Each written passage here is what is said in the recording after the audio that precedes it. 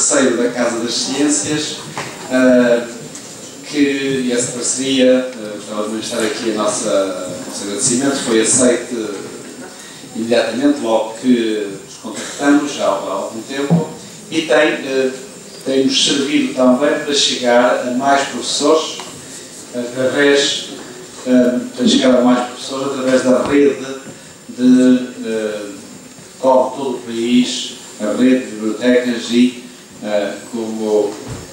creio que o nome que é oficial, das andorinhas que pousam no ninho da rede de bibliotecas e que depois circulam uh, à procura dos seus insetos em todo o país.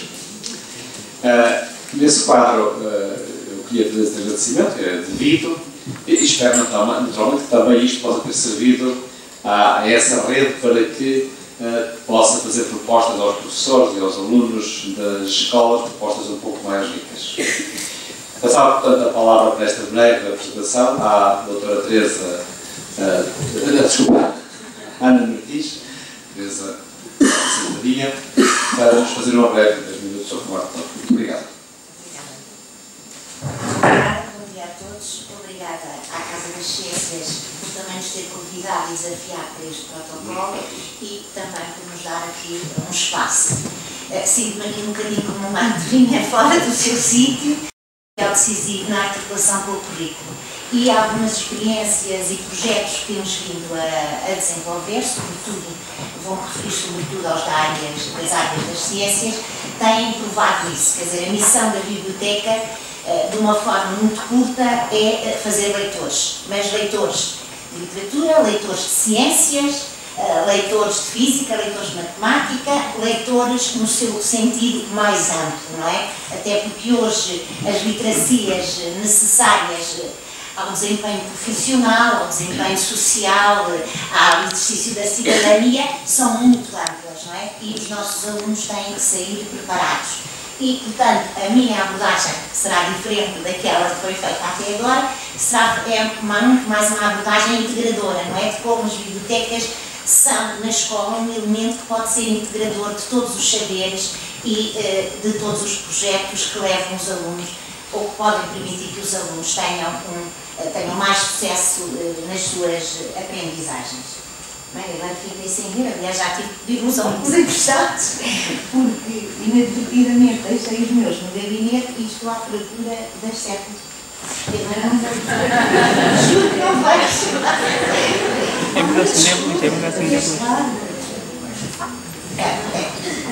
Portanto, é o objetivo da rede de bibliotecas escolares, como do próprio plano de leitura, porque trabalhamos em articulação, é, sem dúvida nenhuma, e isto é uma, um dos desafios que eh, a avaliação do programa da rede pelo, pelo CIES eh, nos levou foi exatamente a constituição destes contextos propícios à leitura, independentemente do suporte, obviamente, e orientar os estudantes para o desenvolvimento das capacidades de pesquisa, e aliás este portal nos foi agora mostrado como o Portal das Ciências, como outros que estão disponíveis na nossa rede, mostram como esta importância de ensinar a pesquisar os alunos, porque eles acedem, não é? Acedem através do Google, com esta pesquisa agora já semântica, não é? Mas a questão é se eles sabem depois validar a informação, encontrar a informação, se sabem andar num próprio portal, andar entre aspas, não é? Mas se sabem percorrer e muitas vezes não sabem. E, uh, os recursos são ótimos, mas se, eles, se a eles não forem ensinadas estas competências, eh, há mais dificuldades na sua utilização. E, portanto, para a interpretação, que é uma coisa difícil, também para a aquisição dos, eh, dos conhecimentos. Bom, eu estou aqui, acho que eu tenho. Eh, eu trago-vos aqui muito rapidamente, porque também são 10 minutos e não quero amassar-vos, que o último ano da avaliação do PISA, que foi em 2009, todos sabem o que é o PISA, não é? É um programa internacional para aferir as aprendizagens dos alunos, tem ciclos de 3 anos, o último foi em 2009 e testa todos os alunos eh, de 15 anos, a nível nacional e todos os países da OCDE. E avalia na leitura, na matemática e na literacia científica. E isto é bastante importante termos uh, a noção de como é que os alunos vão evoluindo ou têm vindo a evoluir. O PISA de 2009 mostrou uma evolução significativa pelo menos face ao de 2006 e ao de 2000, os ciclos são de 3 anos, exatamente, e vemos que o indicador são os 475, são, desculpa, são os 500, o indicador médio são os 500, e vemos que os nossos alunos estão próximos da média europeia, já bastante próximos, não é? Aliás, se compararmos os resultados de 2006 e 2009, como aí têm, veem que eh, houve uma variação de 19 relativamente às ciências, de 21 em relação à matemática e, estranhamente, a leitura só teve uma variação eh, de 17. De qualquer modo, começamos a aproximar-nos da média europeia. O TIMS que conhecem também, penso eu, porque é aquele, é também um programa internacional, mas que testa apenas nas ciências, portanto na matemática e nas ciências, só foi realizado uma vez em 95 e foi realizado agora em 2011 e mostra uh, um progresso assinalável. Em 1995 nós estávamos nos cinco últimos lugares, agora estamos no 15º e 19 podem dizer, ainda estamos muito baixos. Ah, pois estamos, sem dúvida nenhuma. É, é os países todos da OCDE. São todos os países da OCDE. Portanto, apesar de tudo, tem havido nos últimos anos, claro isto tem a ver com a escolaridade, com a generalização da escolaridade obrigatória, com o ensino fé primário, enfim, uma série de políticas educativas que têm vindo a ser desenvolvidas e esperemos que continuem, uh, e que têm permitido algum sucesso, o aumento do sucesso dos nossos estudantes uh, nestas áreas. Temos aqui a introdução em gráfico, mas eu vou passar rapidamente, e, enfim, este farol simbolicamente, simbolicamente feito através desta pilha de livros, uh, que aqui também simbolicamente representarão o conhecimento, apesar de hoje já não se cingir a, este, a isto, uh, tem a ver exatamente com o apoio do plano e da rede de bibliotecas escolares a muitos projetos que cruzam a leitura uh, com a ciência. Portanto, há aqui um reconhecimento, hoje sabemos que estas são condições estratégicas para o desenvolvimento da própria sociedade dos próprios jovens, eh, os aspectos científicos, e que há hoje, sem dúvida nenhuma, um reconhecimento na nossa sociedade cada vez maior da importância da cultura científica e tecnológica.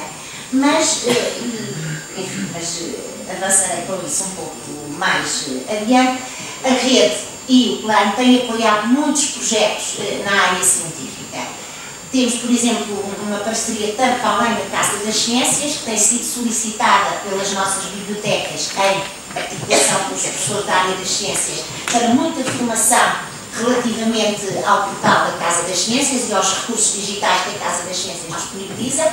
Portanto, todos os professores que quiserem podem, junto do seu professor bibliotecário, eh, pedir ou solicitar eh, que ele convosco peça à Casa das Ciências que vá fazer informação, os seus recursos, etc.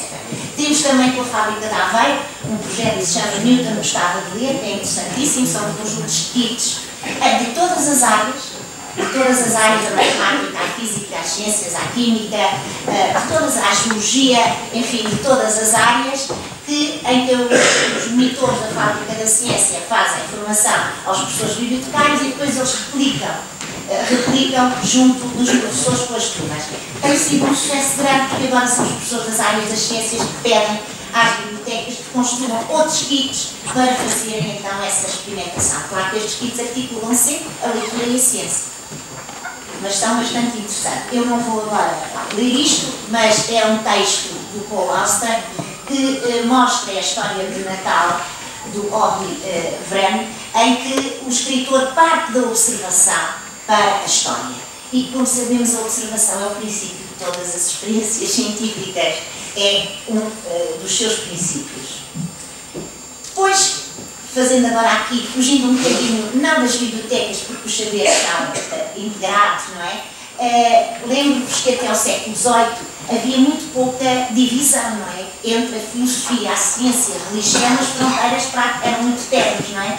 É depois com as luzes que se começa e que se começa a, a nascer aquela máxima uh, que, se não me recordo, diz assim: um, o, pro, o, progresso, não, uh, desculpem, agora está-me está a falhar a memória, mas diz que.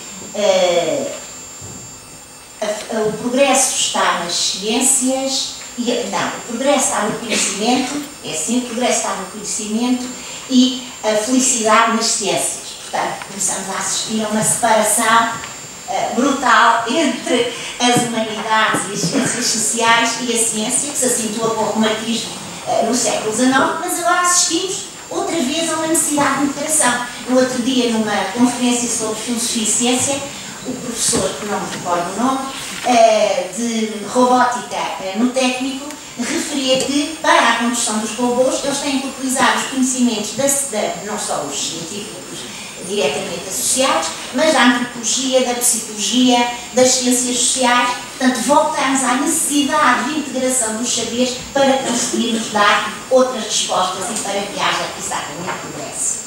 A ciência, como sabem, parece muitas vezes eh, na literatura, eu trazia aqui um certo, mas julgo que não tenho tempo, em que é um, um certo do livro dos 100 anos de solidão, que toda a gente conhecerá com certeza, do Gabriel Garcia Marques, em que os ciganos chegam à aldeia e trazem o primeiro telescópio, ou aquilo que irá, uh, e toda a gente fica espantada, e tudo ali está descrito. Portanto, se ensinarmos os nossos jovens a ler, mas a ler no sentido amplo, a ler no sentido mais amplo, a descobrir outros significados no texto, nós podemos intercambiar e articular de uma forma muito simpática estas questões. Depois temos a ciência também na literatura, toda a gente conhece o governo, o, o Lewis Carroll, etc. E também tantos escritores portugueses, etc. E uh, quase a terminar, eu atrevia-me hoje aqui, ontem e hoje aqui, foram dias de ciência, ontem também foi o Dia Internacional da Poesia e temos aqui um cientista, poeta, que usa a poesia, utiliza, usa a ciência para fazer poesia e usa a poesia como libelo eh, contra, neste caso, o racismo. Todos conhecem Lágrimas, eh, lágrimas de Preta, a Lágrima de Preta, que eu agora lerei, porque, como foi ontem o Dia Internacional da Poesia, e o Gedeão merece o Rolo de Carvalho. É? Encontrei uma preta que estava a chorar vi uma lágrima para analisar. Recolhi a lágrima com todo cuidado, num tudo ensaio bem esterilizado. Olhei-a de um lado, de outro e de frente. Meu ar de gota muito, muito transparente. Mandei vir os ácidos, as bases e os sais, as algas usadas em casos fetais. Ensaiei a frio, experimentei a luz. De todas as vezes deu-me o que é costume nem sinais negros, nem vestígios de ódio. Água, quase tudo, e pureza de sódio. Portanto, temos aqui um bom exemplo como podemos usar este poema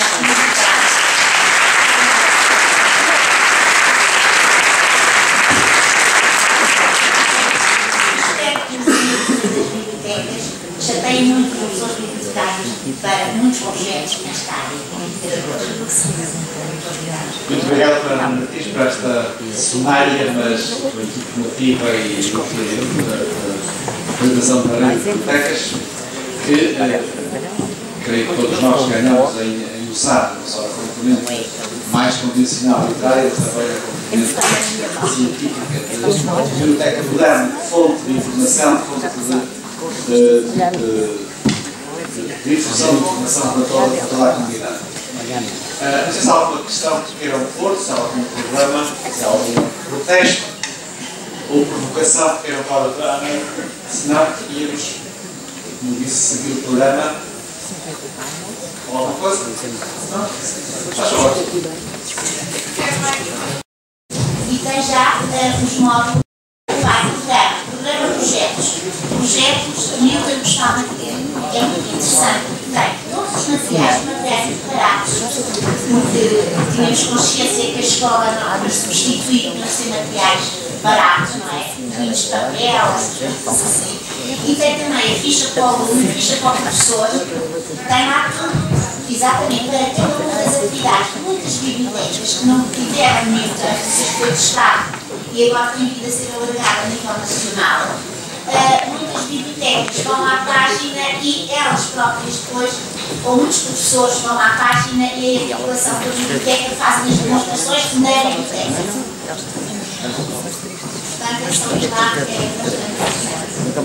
Muito obrigado.